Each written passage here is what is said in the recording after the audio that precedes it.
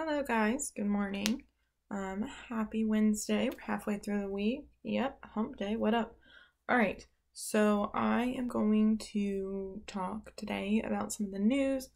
Um, there's not a ton of news, but I do want to go through Governor Abbott's reopening plan as that goes into effect Friday, which is May 1st. Okay, so I want to go over exactly like what that's going to look like. Um, and then there are a couple of other you know, news stories. Not that much, honestly. Um, it's been kind of a slow week, honestly. But um, I will update you on Abbott's plan right now.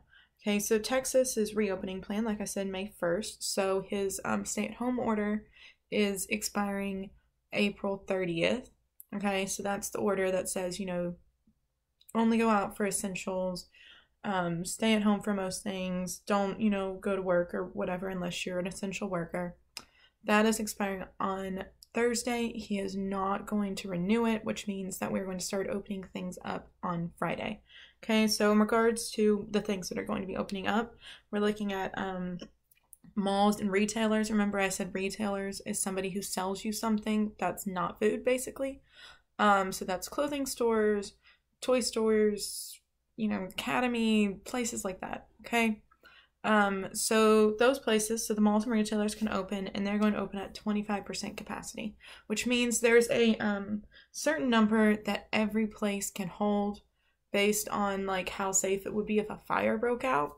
Okay, and that's called like max capacity, and there's like a number. The fire department gives all these stores a number, so they have to keep to 25% of that number. So you know, only one fourth of that number is their capacity. Okay, so that's to keep, you know, people from bumping into each other and touching things, and then there's somebody right next to them that's also touching things. It just helps to keep the whole six feet apart social distancing thing up, even when you're going back. Okay, but you are encouraged to um, still do pickup. You know, like you can order from the retailer and they can bring it out to your car, or you can go to a counter and pick it up and then leave um, instead of, you know, strolling through the store and touching everything. Um, so try to keep your hands to yourself. And um, people are still encouraged to wear masks if they are going out into public. Okay. Um, so food will also be um, so food courts and play areas will be closed in malls, even though um, restaurants will be opening back up. Um, they're not going to open up the food courts in malls. Okay. Um, but they are going to, like I said, open back up restaurants for dine in. Same thing though, 25% capacity. So only a quarter of the people that can be in there or like would fit in there are going to be able to be in there. Okay, so if you're going to a restaurant, these are the new rules that you're going to see. You have to have less than six people in your party. Um, a party is just the people that like sit together at the restaurant. Um, so you have to have six people or less. So if you, you know, you have like an eight person family, sorry, you can't go to the restaurant. Or if you do, you're gonna have to split into four and four. Um, they will sit people. Um, party or tables have to be six feet apart. Um, so they're probably going to end up taking out a lot of tables and then sitting people, you know, like every other booth um, or something like that. But they're gonna keep tables six feet apart. You're gonna see disposable um, utensils and menus and um, single serve condiments. Like if you ask for ketchup, they're not going to bring you a ketchup bottle. They're bringing like a bowl of ketchup um, or something like that. Okay, and this is all um, to keep you know the crossover down as much as they can, and um, those same things will apply to movie theaters that have um, food in them. You know, like the disposable menus, single serve items. Um, and movie theaters, you can't go to the movie theater, and this is a little bit complicated, okay? So they're keeping movie theaters to, like I said, 25% capacity. That's pretty much going to be everybody. Um, when you go to the movie theater, if you live with somebody, then you can sit next to them. If you don't live with somebody, like if you want to go to the movies with your friend or something, you have to have two seats in between you. So here's you, one, two, somebody else, okay? And then um, in between groups, there's going to be um, each, you only can sit every other row. Okay, so you have to have an empty row in between people so that um, you're not breathing on them, they're not breathing on you, stuff like that. Okay, so every other row, two seats apart. unless you live with each other. And then, of course, you can sit next to each other because you already hang out with each other all the time. But you guys need to sit two seats away from whoever the next person in the row is, okay? Um, so if your whole family wants to go, that's fine. You can all sit one, two, three, four, five. And then there needs to be two blanks. And then the strangers can sit down. All right. Um, libraries and museums are also going to be at 25%, and any like interactive exhibits are going to be closed. So any hands-on things you're not going to be able to use. Um, you're only going to be able to look at things. All right. Um, and religious services um, are still going to be open. They've been open this whole time. Um, those in the population who are most at risk, so elderly, um, people with pre-existing conditions like diabetes or heart problems or asthma, um, are all encouraged to stay home and not go. Um, but if you do go, try to sit um, away from everybody else. And um, everybody at the religious service needs to sit at least two seats away from anybody that's not in their household. Okay. Um, what? I think, okay, sports. Last one. Okay non-contact sports so anything that um you won't touch the other person like one-on-one um so you know that knocks out things like basketball and football where they're contact or you're at least touching the other person and it has to be less than four okay so less than four people playing so that takes out things like baseball um not a lot of sports left i'm sure people can find something um, but if you do want to, you know, obviously, like I said, you can still play with your family um, members. So if you want to, you know, play a game of one-on-one pickup with your brother, that's fine, your brother or sister. Um, but you can't, you know, get the whole neighborhood together for a game because that's way too many people, and you will be contact. They'll touch each other, and all of you will touch the ball. So you can't do that. Okay, so if you're gonna play sports, it needs to be less than four people total, and there can't be any contact between the people playing. Um, so, you know, things like cornhole or like shuffleboard. Not a lot of sports, guys. I'm trying to think of anything that would be less than four people with no contact. Um, tennis. Tennis t- counts. There you go. Okay, you can play tennis. Um, and golf. You can play golf. Um, but you have to, if you want to golf, you can't share the cart with somebody unless you live with them. So there you go. All right. So, um, that was all of the guidelines. Um, if you need any more guidelines, of course, um, you're welcome to ask and I can walk you through, but those are the main ones that we're talking about um, that you're going to run into on a day to day basis. All right, um, HEB is reducing their purchasing limits. So they had placed purchasing limits on things that were like high um, necessities, things like toilet paper and paper towels and stuff like that. Um, you can now they're raising those restrictions so it's not like limited to like one per guest or um, something. So I'm sure they're not just saying you know buy all you want, but they are re- relaxing those a little bit so it won't be like just one. Um, today in history, the Rodney King riots in LA of 1992. Um, so Rodney King was a young man in LA um, who some police officers in LA were filmed um, beating him up brutally and he ended up dying. Um, and it caused a big storm in LA because the LA police department was notoriously like corrupt um, and had a lot of um, racism and police brutality problems. But so, like, you know, Rodney King's death was basically filmed, you know, caused by these police officers. Um, they were put on trial, and today was the day where they were acquitted, which means the jury found them not guilty. Um, this made a lot of people very angry and it set off um, some race riots in LA. Um, and LA would struggle with um, that throughout the 90s. Um, it would be a big thing that everybody would deal with. Uh, they don't have as many riots. Obviously, you know, they're not rioting currently. Um, we like to think that things have gotten a lot better. Um, but yes, the 90s was a rough time in LA.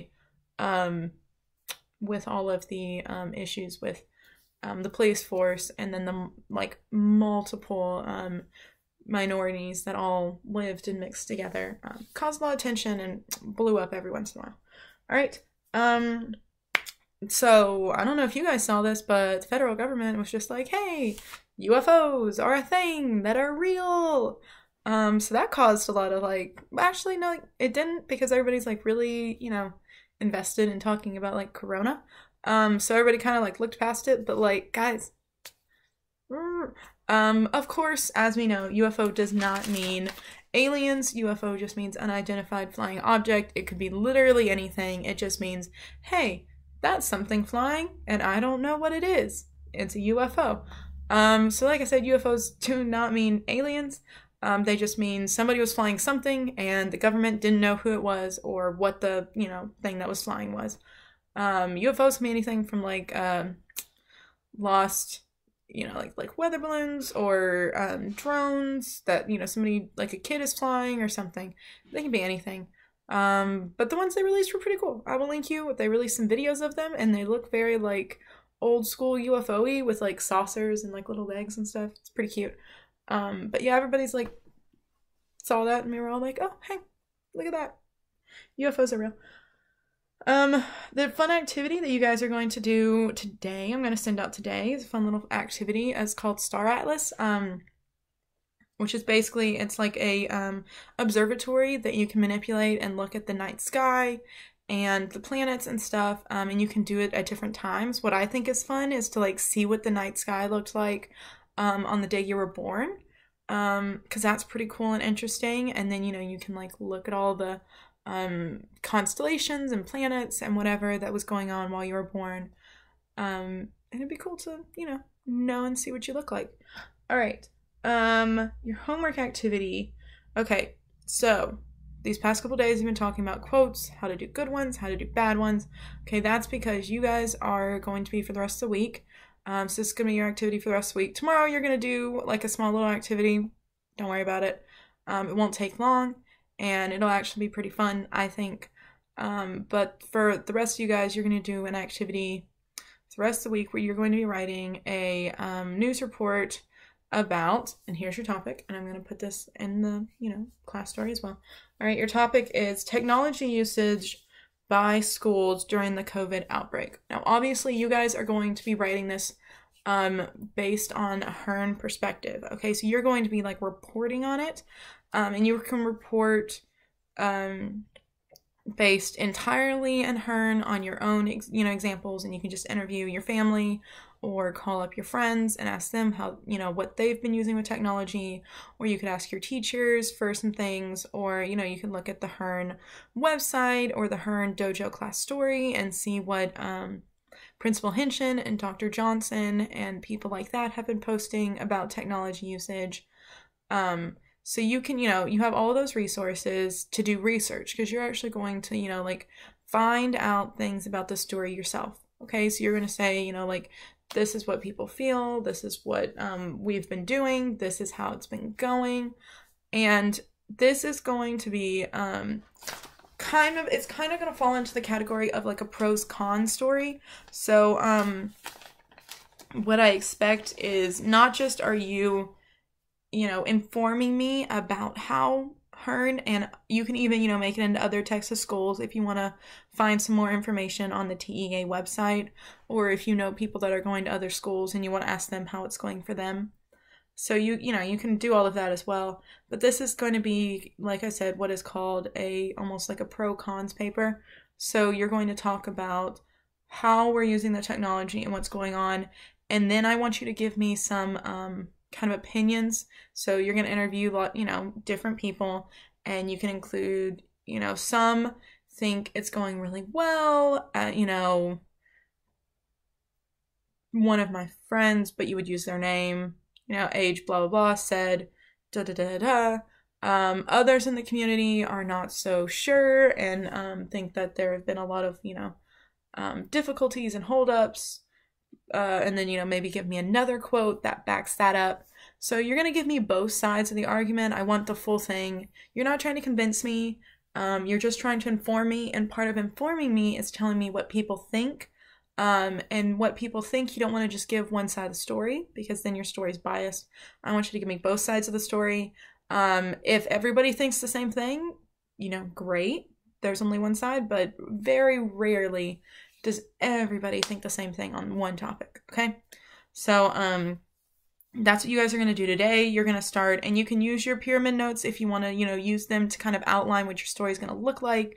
You know, your five W's and your H up at the top, and then maybe some facts that are going to go in the article, and then maybe some quotes that you liked from people that you've been interviewing. Um, and that'll help you because you're kind of going to write in that order. Um, if you need any assistance, please don't hesitate to reach out. That is your assignment for the day um, is to start collecting some information about it. You don't have to start writing it today, um, but I do want you to start collecting information, start asking people what they think, start writing down what you've been doing, um, you know, writing out all of your notes so that we can start putting it all into one story um, tomorrow and Friday. Um, that is going to be it for today. Um, look at me, 15 minutes. So much faster. Getting better at this. Um, so that's the news for today, and that's the assignment for today. Um, as you, you know, as you're taking the notes or as you're, you know, getting some quotes, just send me a picture of what you're doing so that I can see you're actually doing the work. Um, this is since this is a multi-day project, I'm not going to ask you to like have, you know, specific things done. Um, I'm letting you guys kind of set your own goals, but I will say um, I do want to see something by Friday. Um, and news stories are really short. They're going to be, you know, a page max unless you're writing a feature article, which we're not really. I just wanted like a quick little news article. So about about about a page. Um, I will. Okay, sorry. I will be posting um, a link to a YouTube video that I found that kind of walks through like how to write a news story. And I thought it was really, um, it looked really good and interesting. And I think it was a good idea maybe if you guys want to check it out. So you can kind of see like how um, you know, a good idea how you can run a news story and how to outline some things. Um, but like I said, you are using tech. Your story is about technology usage during the COVID 19 outbreak um, for schools, you know, so use Hearn, use Texas, use whatever. Um, but I want to see some research today. Okay. All right. Uh, love you guys. See you tomorrow. Bye bye. Have a good day.